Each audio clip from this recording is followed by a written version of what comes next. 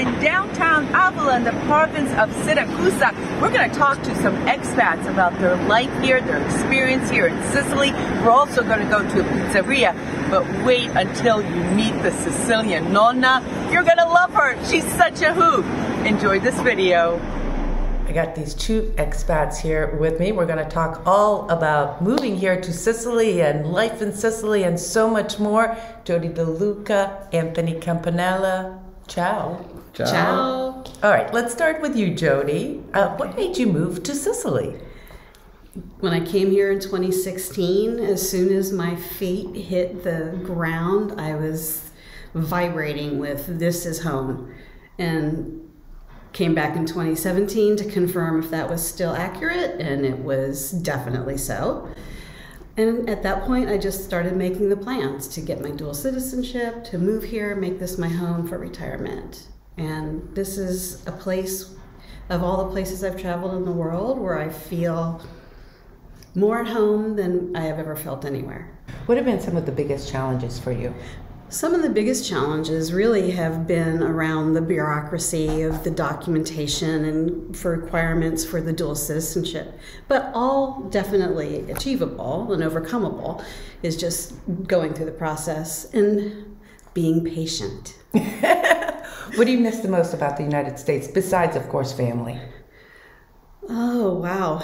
Um, it's hard to actually say. It would probably be more food related you know, um, specialty things, you know, like different Asian foods or Mexican food because I was in California or Cuban food from being in Florida, but those are not important. My friends and family, I miss the most. All right, now we're going to go to Anthony's farm. Check this out.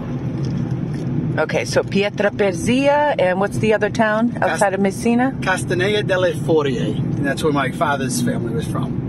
Mother's family was from Pietraperzia. Father's family was from Castanea delle Furie. And when did you decide to move here? 1962, when I was born.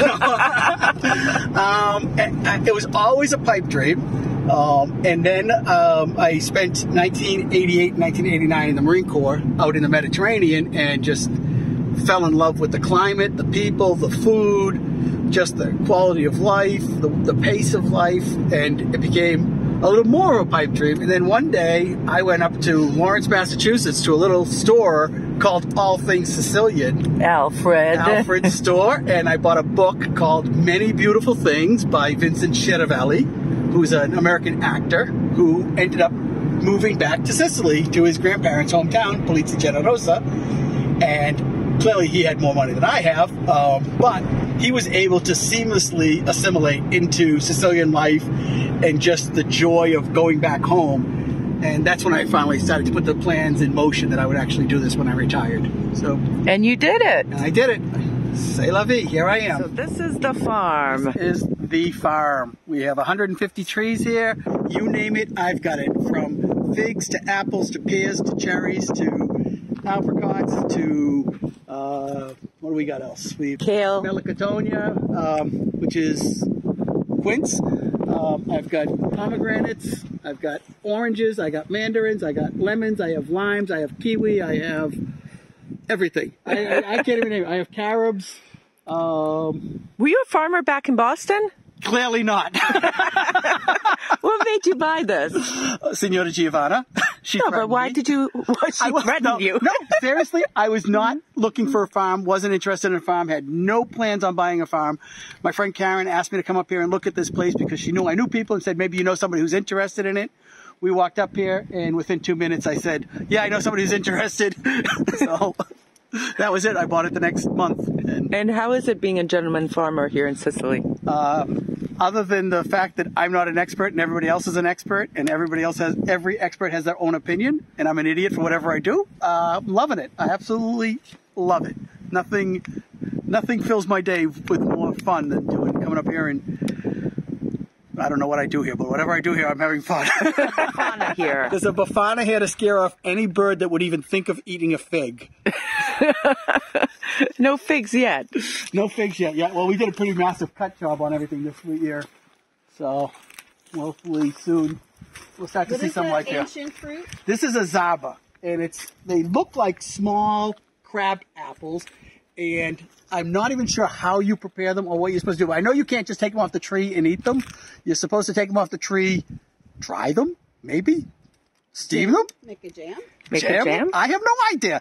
I because nobody seems to know. Every time I ask somebody about them, they're like, "Oh yeah, my grandmother had that," but I forget what she used to do. A lot of work keeping this up. Yeah, it's it is, but it's not as much as I thought. It's it's and more. Sometimes it's more, and sometimes it's less. But um, you know, you lose track of time when you're up here anyway. So it doesn't No matter. kidding. yes, please. I'm lemon girl. I'll take a few lemons. Alrighty. Lemons here are so different than the lemons by us. And nothing like picking your own lemon.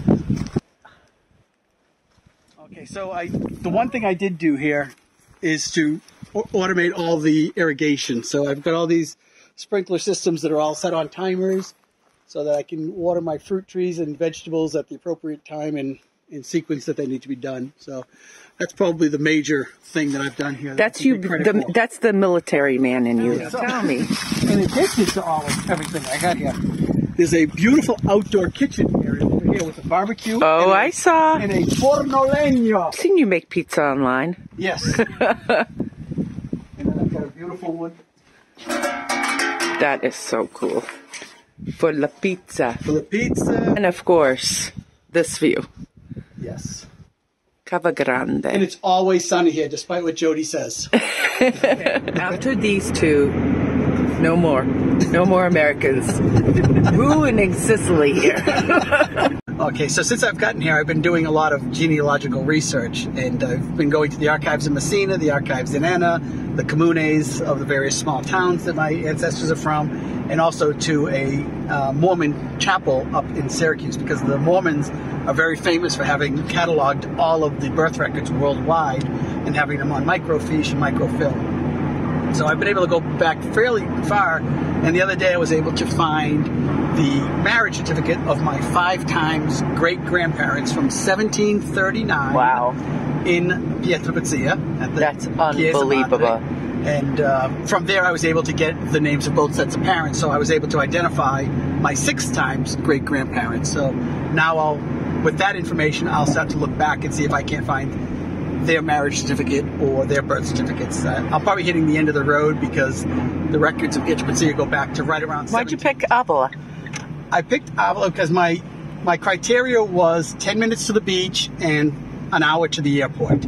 Um, and obviously, the, this zone here is beautiful. I, I had visited Syracuse and Noto a couple of times um, in the 2000s, and actually 1993 we came as well. So I've been here and I know the area well, and I, I kind of really like the people. I like the, the quaintness of it. I love the fact that I'm so close to the beach. Um, even though last year I didn't get to the beach at all, hopefully this year we will. Um, and it's just a, a beautiful zone, beautiful area, and it's, and it's less expensive than areas north of Catania, which also would have met my criteria. But sono un povero contadino, so I have to stay down this end. This lovely woman is Giovanna.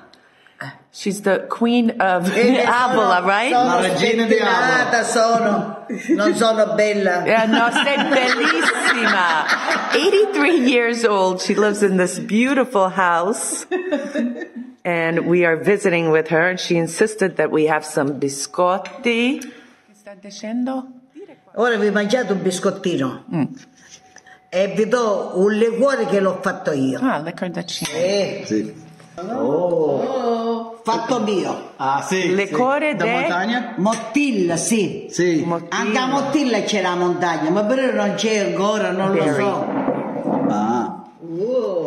E Her finito? mother made her get married to a man, but she didn't want to, so she's angry No, at her no, mom. è un piacere mio. 83 years old. Look at her. Sharp as can be. Va. So she makes her own soap out of olive oil. Let's see this. Qua, qua, qua c'è l'altro sapore. Your, your other soap is. Tutto bianco. All white soap that she made Sì, hai visto? from olive Hai oil. visto? Tutto sapone questo. Visto? I'm gonna try this. Hai visto? Qua c'è sapone. Tutto sapone, hai visto? So pound. Five kilo, five euro. Yeah. Questo è un chilo. Questo 10 euro, è un chilo. Sei brava. Sì, ma sai però, è lavorato. Questo è un chilo. Prendevi questo che è meglio. She goes around in her car and sells these. Questo è bello. Senti, io mi faccio anche a doccia con questo. Ah, see? She Sì, a takes, doccia, a doccia. she takes a shower with this. Sì, sì, sì, sì, sì. Tutta mi faccio a doccia, tutta mi saporo con questo. And look how beautiful her skin is. Sì, sì, sì, sì, sì. La bella pelle. Sì, sì, sì, io a doccia mi faccio. E c'ho sapore da bagno. Sì. This is where she makes the soap. Que- questo metto a terra, questo. ah, Quei legni, quei legni, lì ci sono i legni, vedi, vedi, lì ci sono i legni. uh, there's sì. the wood, Sì, sì, sì, sì, qua, qua. and she faccio, boils it Qua, qua, with olive oil. sì. E lavorato, lavorato, A lot of work, she says. lavorato, lavorato. Ai, ai. There you go. Soap made out of olive oil. Ooh, soft. Oh, it's nice. That's nice Questo soap. porto da macchina. Smells good. Little Dottie, you got to bring your cat with you to Sicily, right? That was fun. What's the best part about living here in Sicily? The best part about living here in Sicily is just all the beauty, the nature, whether it's just you know the sun, the sky, the mountains, the you know the landscape, and all of the flora and fauna, or you know just the oceans and the lakes. Just beauty everywhere. We had a great time wandering around the Cava Grande and all That the. was- Getting lost is so much fun. I love doing that, exploring and learning new places, discovering. I love discovering. Most difficult part in moving here to Sicily? Not just the bureaucracy, the paperwork that you just have to go through, of course. Uh, actually, I, there was none. I mean, I literally got off the ground. I was lucky to have my cousin Filippo in Pietraperzia to welcome me. He had bought a car that I was able to drive from day one. Um, so that was easy. And uh, getting into a house, he had already had a house rented for me for three months. Didn't have to worry about that. Um, I had traveled extensively throughout the world, so I was used to coming into places and assimilating with the local culture, the local food. Yeah. Um, and As a Marine, you traveled a lot. I've traveled a lot. So um, to me, it really wasn't anything. And, and I think maybe you've seen the picture of what I packed to come here. I literally came here with one sea bag, one suit bag, and a carry on bag. And I started my life fresh when I hit the ground. Okay, Jodi, besides bureaucracy, what was the most difficult thing for you?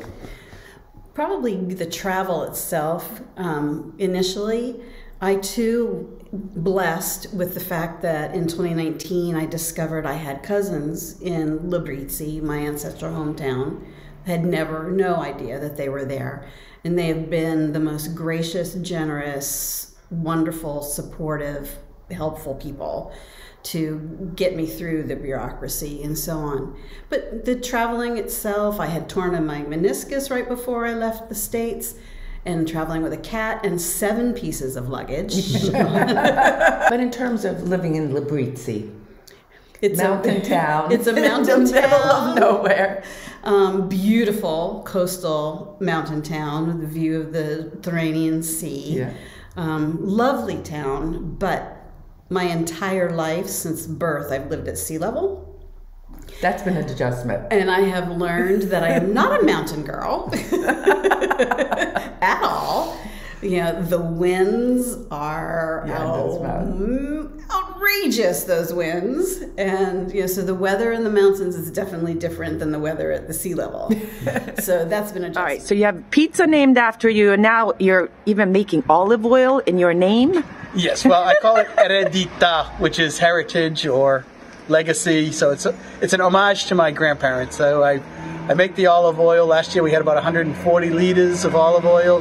This year we had a little bit less. Uh, I give it all away for free. So I eat what I eat, and anything else I just I just What a man! What a man! No, no. Hey, what's your favorite part about living here in Sicily? Everything: the food, the people, the weather. Um, I, there's not a, there's not a bad thing to be said about living here at all. Anthony even has a pizza named after him. Campanella. Pomodoro, mozzarella, salsiccia, pepperoni. Anthony, six euro for your pizza? Hey, I'm a classy guy. or every time he sells one. In Sicilia Bed, uh, and these are The choices for pizza. Questa insalata? Insalata, come si chiama? Mista, mista, No, questa con pancetta. con pancetta. Aspetta, ora quando la, la finiamo. Look at that with Ancora non è bacon. finita, aspetta, la vede quando è finito del piatto. Rosario. There's a pizza oven. Cipolla. Cetrioli. He's a perfectionist. Look at that. Sale. Origano. Origano da dove? Di qua, di nostro. Origano nostro, olio d'oliva, aceto, Bianco o bianco o ro- nero, nero c'ho sul tavolo, qua c'ho bianco. Buono? Stop. Posto, basta. A posto basta. Ma poi dopo facciamo la tua. Peperoni freschi, eh? Peperoni fresca e poi salsiccia. Fresca, cipolla, Ok, onions. E poi, come chiama? come signora, come si chiama? Campanella. Campanella, lui, è la sua pizza, lui l'ha messo là. Qua formaggio, Mozzarella solo mozzarella. e l'altro.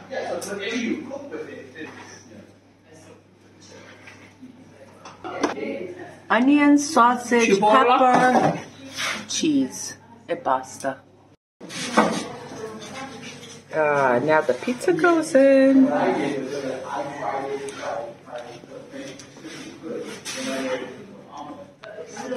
Andiamo? Siamo. Ora, ora, ora, vieni qua e la fai vedere.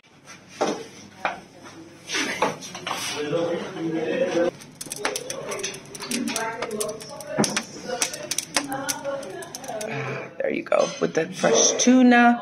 E la rucola. Ah, vera, rucola. Va bene, bella, Nutella, right? Nutella, sì, bravo. Questa pizza no. Questa pizza Nutella non è pizza. Non è pizza.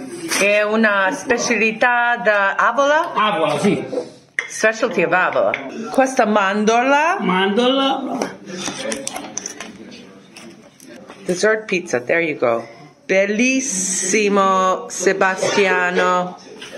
So you lived in Niscemi. Yeah, I lived in Niscemi and I didn't speak Italian before I went to Niscemi, so I learnt my initial Italian when I was living in Niscemi. And I came here and people couldn't understand what I was saying, and I thought, I must be so stupid. I thought I'd learn what to say. And then there was a program on the television and it was somebody from near Niscemi who was speaking and I understood every single word that he was saying and I realized it's because I was used to the accent that they have in Niscemi and obviously I was also replicating that accent when I was speaking Italian and so people in the shops here didn't understand me. What's the accent? They all uh, speak different. Yeah. And by you, everyone speaks Sicilian, huh? Yes, yes. We, I have come to an agreement with my, my neighbors. I will speak Italian, and they will understand everything I say. They will speak Sicilian, and I will understand nothing. So it works out really well. And Jodi, by you? Everybody there seems to speak a version of Italian and also Lubriziese. Eh? Of course, everyone has their dialect language. And so my cousins have started to teach me a few words here and there that are more Lubriziese versus Italian, because I won't even say Sicilian. So, but I'm far from being fluent in any of them. Well, you're fluent in At this Spanish. moment. It'll take some time. This is true. My brain will stop thinking. Pazienza, pazienza. What are you having? So I'm having a tuna e cipolla, tuna and onion, a, a pizza that I would never think of buying in the United States, and I see it on the menus here all the time, and I never would have thought of buying it here either, except when I had a there was a birthday party for the elderly woman across the street from me, and they had a pizza, and then the son-in-law had just loaded a bunch of things on my plate, including a tuna and onion pizza, and it was the most amazing pizza I've ever eaten in my life, and now it's one of my go-to pizzas. Buon appetito. And here's the campanella Pizza. with this the salsiccia. is the Tinkerbell pizza. Very happy. This is, I've been waiting for this for months to get here and have this. You know what? You can't beat a tin olive Oil. And your grandparents? This is my grandmother and her brothers and sisters at my Uncle Joe's wedding. So this is Where was probably, this? was in Massachusetts, so this was probably in 1945, uh, 50, somewhere around there. There's my grandparents. That's also in Everett, Massachusetts. And- The kitchen, and look at that, entering Boston. yes. Can't take the Boston out of you. No, drawers open. My mother was at have hungry drawers, supposed to be closed. and, and, and there's a woman in town who this house used to belong to her aunt. And she yells at me every time she sees something on Facebook because I still have this kitchen that her mother bought in 1981. Oh, now this is nice. Oh. Beautiful. This is my summer bedroom. I You're sleep, up here, I sleep up here all summer long. so it's beautiful. Look at that view of the water. Spectacular. What's that over there? Is that a school? Uh, police station. Police station. Perfect for you, Anthony. Exactly. Biggest advice to people moving here. Do your research and your homework before you get here. Come here several times. Go north, south, east, west. Find a place that feels good to you. Make sure you know what you want to have as your environment to live in. I wanted to be close to an airport. I wanted to have reasonable access to health care. I wanted to be by the sea. I worked in the wine industry in California. I wanted to be near wine here. So those were just, you know, like short list things.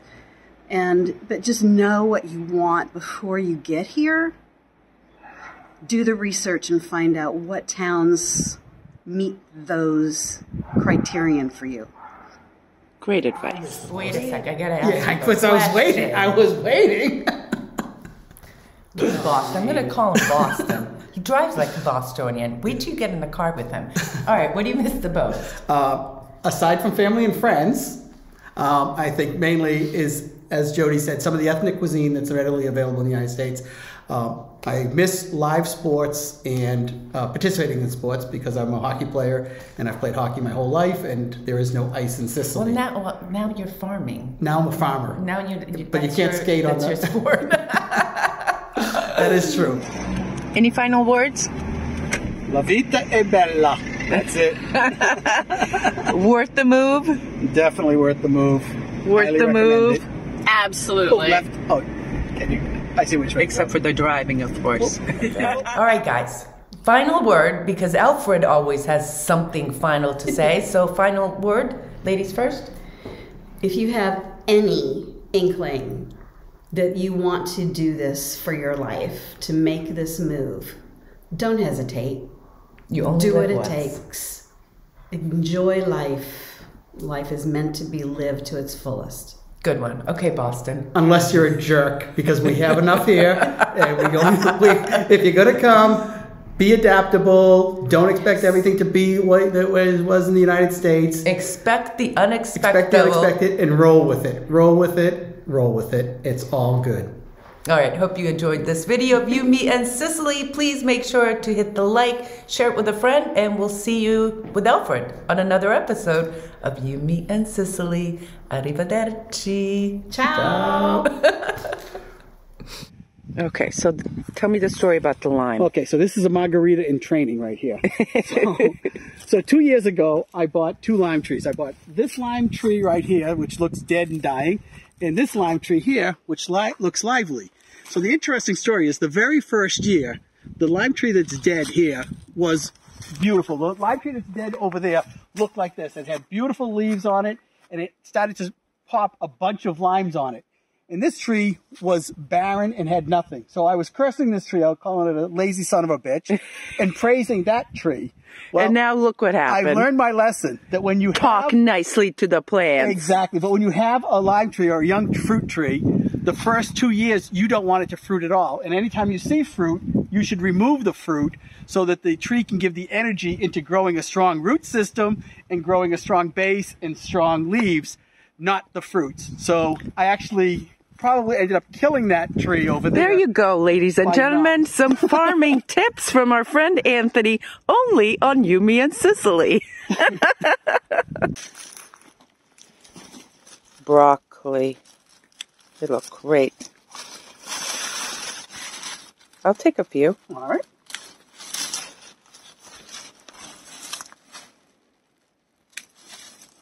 Look at that kale. You know, somebody knows what they're doing is probably looking at me cutting this broccoli and saying, "What the heck is he doing?" it's your farm. Do what you want. That's not the way you cut broccoli.